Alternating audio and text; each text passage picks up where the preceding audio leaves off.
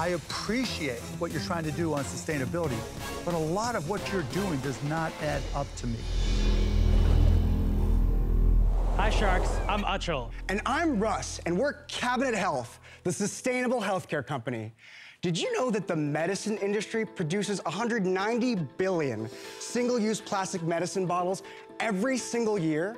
That's enough to make a line from here in Los Angeles to Australia 325 times. And of all of those bottles, only 3 to 7% are recycled.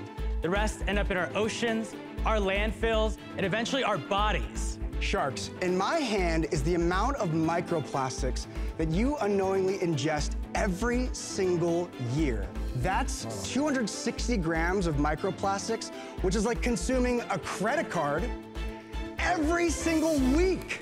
Wow. Cabinet Health is a sustainable healthcare company that's invented the world's first compostable and refillable system. Today, we sell and manufacture high quality over the counter medicines and supplements, and we're on a mission to eliminate single use plastic, one cabinet at a time. We're positioned to change this industry entirely, and we're here today to ask for a $500,000 investment for a 2.5% stake in Cabinet.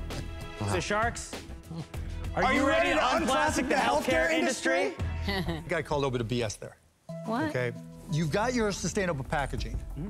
You're using OEM medications. You're not inventing any medications that are going to go through FDA approval. The products do have to go through rigorous stability testing by drug molecule because we're Every completely changing the packaging. So every that's where single your medicine. research and development money is going right Yes, now? correct. We need to invest heavily that the packaging that we've made is safe. You have to get FDA approval for different packaging. Absolutely. Every time you release. Every single pill count and every single packaging. Let me save you a little time. yeah. It feels to me like the kind of business that I'd wait forever to get my money out. There's too much risk in this. There's always something else to spend money on. So for those reasons, I'm out. The next 12 months, what do you project your revenues and your profits to be? Yeah, next 12 months, we're projecting around 25 million. Uh, we'll do about a negative 10% net income, and then we'll have a break-even point of October 2023. Can you tell us about, about the fundraising history?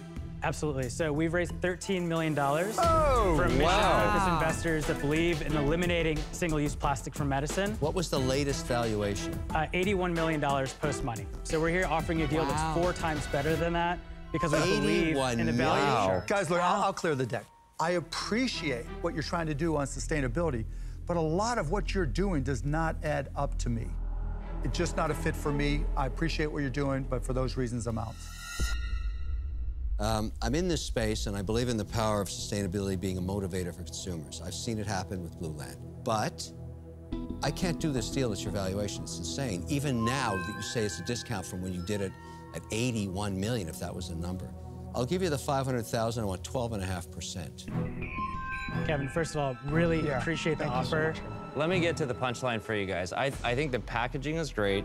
You're playing in a space with highly recurring business activity. I'm a big believer in sustainability in general. That said, here's my offer. I'll do $500,000 and I'll do it at 10%. yeah. I think where you're really going to need help is in the operational excellence of scaling up. Hmm. And that's really what, you know, the business at DoorDash we're all about. And in terms of what I've done, you know, in terms of my entire entrepreneurial career, is figuring out every single way to actually optimize that process. So that's what I actually think, you know, we can do together. And I think it'd be a huge business. We do think that your investment and your investment, Mr. Wonderful, could be worth a lot more if we partnered together. And so, want to get a sense if you'd be open to doing a deal together, or, or Lori, if you'd want to come in on that. I think what you've done is really brilliant. You can get rid of so many plastic bottles. You did a beautiful job of it. So I really, really like that. But I think the valuation is out of this world. Um, I hate it. So I wish you guys both good luck. I'm sorry, I'm out. Guys, Yeah. it's time to make a decision, Yeah, guys. You can counter, say Yeah. yes, say no. It's up to you. Tony and Kevin will be curious if you'd be open to a creative deal structure where we can give you an opportunity to earn that equity investment back and you guys come in together. Go ahead and make your counter and see what they say.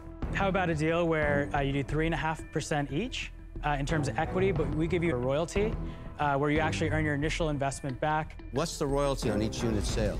Uh, we can do up to 2% of top line revenue until you have that initial investment repaid. I'll tell you what we would do, and I'm speaking on Tony's behalf.